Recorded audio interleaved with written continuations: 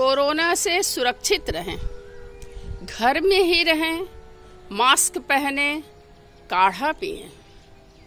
कभी तो सिर्फ़ नीम की पत्ती का ही काढ़ा पी लें, ताकि आपकी स्वाद शीघ्र ही वापस लौट आए।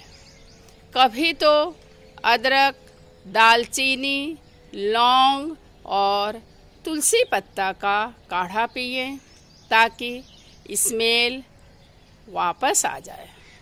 कोरोना की दवा डॉक्टर के परामर्श से ही ज़रूर लें, ताकि कोरोना वायरस का खात्मा हो जाए।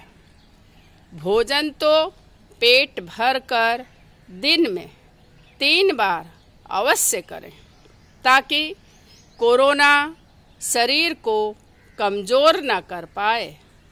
अरे हाँ भाप लेना ना भूलें, ताकि ऑक्सीजन लेने में तकलीफ़ ना हो। सेंधा नमक का इस्तेमाल ज़रूर करें। यह स्वास्थ्य के लिए लाभदायक है। मीठा तो कम ही खाएँ, टेंशन में न रहें, ताकि शुगर का अलग से आक्रमण न हो, खुश रहें, मस्त रहें, व्यस्त रहें। कपाल भाती, अनुलोम विलोम और भस्त्रिका प्राणायाम करें, ताकि ऑक्सीजन सिलेंडर की आवश्यकता ना पड़े। रात को गर्म दूध में कच्ची हल्दी उबालकर अवश्य पिए, ताकि अच्छी नींद सोएँ और शरीर को पौष्टिकता प्रदान हो। प्रत्येक आहार और पेय गरम गरम ही खाएँ या पिए ताकि स्वास्थ्यवर्धक आहार और पेय ही शरीर में प्रवेश करें। दिन में दो या तीन उबले अंडे भी खाएँ ताकि शरीर मज़बूत रहे। उपरोक्त सभी आहार और पेय तथा प्राणायाम अवश्य करें ताकि कोरोना वायरस का खात्मा हो जाए। प्रभु की कृपा असीम है।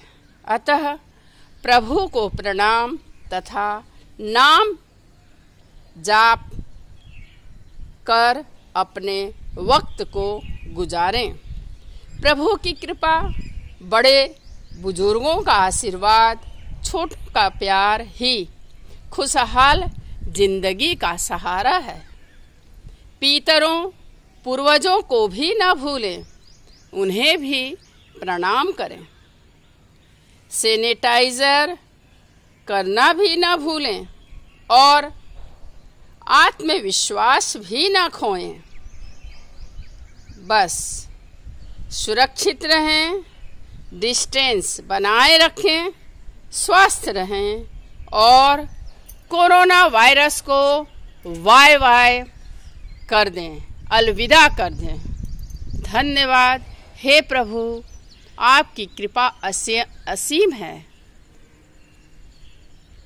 आपको अनुभव करने की हर प्राणी आपको अनुभव कर पाए, ऐसी बुद्धि हर प्राणी के अंदर दें। ओम शांति।